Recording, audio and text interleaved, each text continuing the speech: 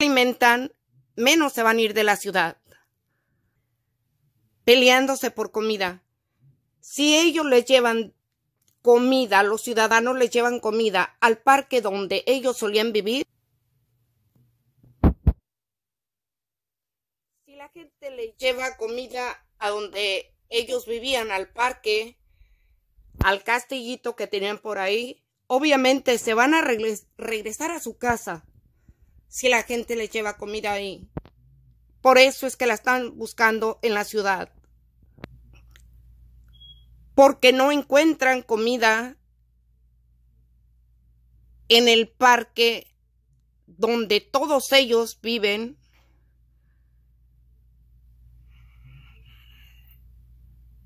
Ahí los tienen peleándose por un pedazo de comida. Qué triste realidad.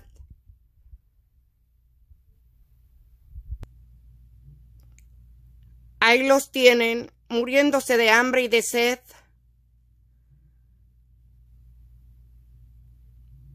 Desgraciadamente es una realidad.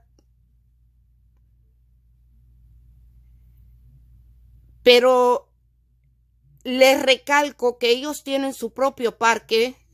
Anteriormente ya lo habían pasado también de que ellos tienen su propio parque donde la gente los iba a visitar, pero lo han dejado solo para venirse a buscar comida a la ciudad.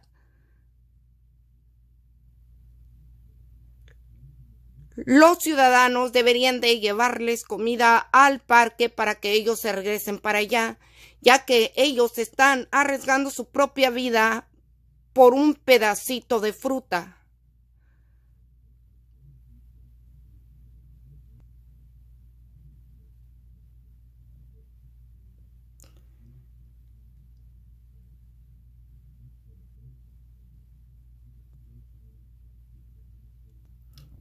De sed, de hambre.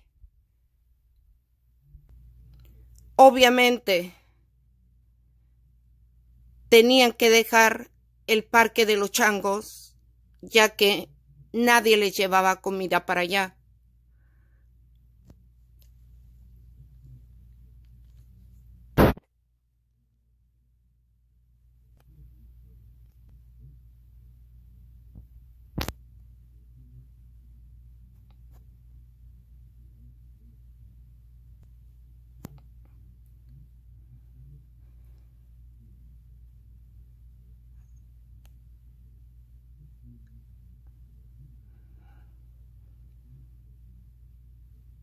Ojalá que la gente tome conciencia y les lleve la comida al parque para que se regresen para allá, porque ¿cuántos irán a ser atropellados por un pedazo de fruta? La gente cuidándolos, pero esto es muy triste reporteros de todo el mundo reportando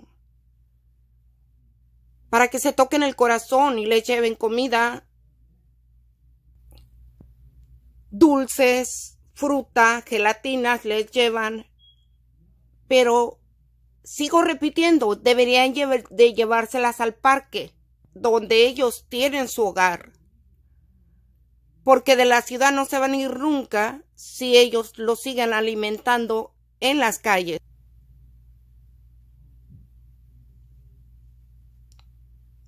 Hasta mesa les ponen.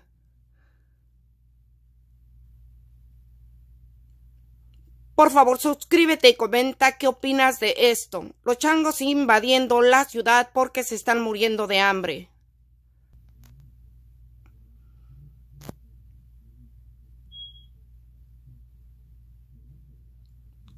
Con cuánta desesperación agarran ese pedazo de fruta y se lo echan a la boca.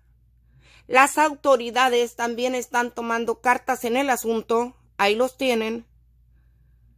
Los atraen con la comida.